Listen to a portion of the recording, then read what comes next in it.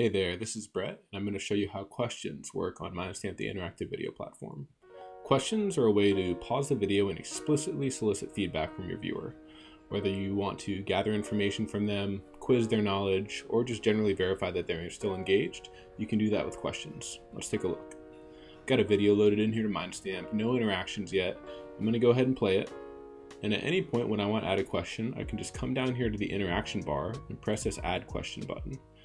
I'm going to do that, and we're going to bring up the question dialog. First thing we're going to see here, question types. There's a couple of different question types you can ask on Mindstamp. Free response, that means let the viewer answer in whatever they, way they want, use useful for general information. You've got multiple choice, that means let me populate a couple of answers that they might select, one to five in this case, and let them click a button. Drop down select, which is multiple choice, but for many answers, say you can have 50 to 100 answers in there. You can ask them for a drawing response, so circle something on screen, point to something that makes you feel angry, sad, etc. You can ask for a voice response, really useful for measuring tone and pitch and enthusiasm, especially in customer facing roles. And a video response, same thing as voice, useful for measuring tone and pitch, but also a visual clue as to what your viewer is thinking, feeling, or doing, really helpful in training. This first one, let's just say free response. I'm to say, How are you today? Enter that in the prompt area. We've got a time here at seven seconds. That means it's going to pop up at seven seconds. You can configure these questions to have a time limit. Let's say 10 seconds. I want to give them the answer. And you can make it skippable or not. We can store this variable, store the answer to this question in a variable name for later use. I'm going to say, let's store it in mood. We're to go ahead and save that. And just like that, I've added a question. You can see it pop up here down on the bottom bar. Now if I go back, let the video play, at 7 seconds, this is going to pop up and ask me how am I today. You see our timer going on. I'm going to skip this right now. I'm going to ask another one. I'm going to say ask another question. This time let's ask a multiple choice.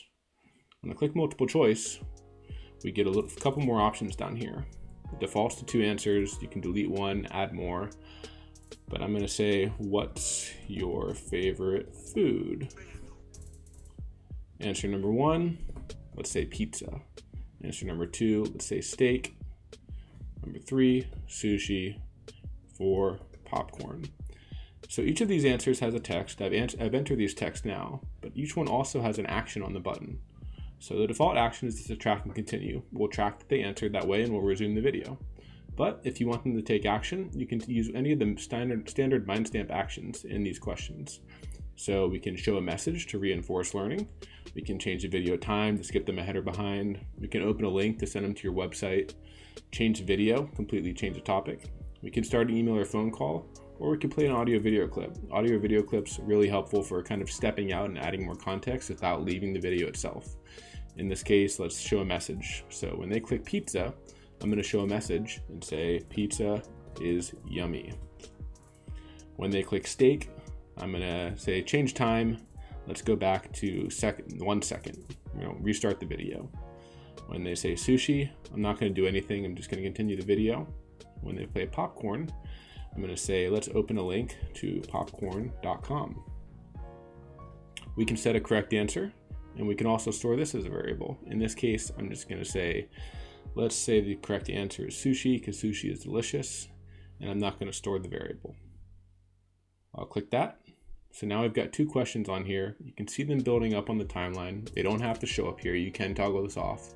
And before we look at this, I'm going to add one more thing. If you remember, I stored the variable, the answer to this question in the variable mood. I'm going to go ahead and add a comment and you say, you said your mood was, I'm going to use the variable syntax, which is open brackets, variable, close brackets. Now that's going to be replaced by the answer to the first question when I show you this in a second.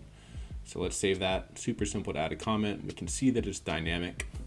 I'm going to go in here to preview mode. Preview mode is used to see your video and collect the data exactly as a viewer will see it, not in this admin view. So let's open preview mode. None of the controls, just a nice big video. When I go ahead and play it, you see our three interactions. First up is this first question, the free response question. It's going to ask me, how are you today? I'm going to say, great. We've got our timer as we set it. Next question coming up should be the multiple choice. What's your favorite food? These are buttons that are custom designed. You can make these any color, size, shape you want. I'm going to say sushi. If you remember, the correct answer was sushi, so we got that correct. Finally, we're going to look here and see our variable replacement happen. said you said your mood was great, just like we answered. Really powerful to be able to use answers later in the video to create a personalized dynamic experience.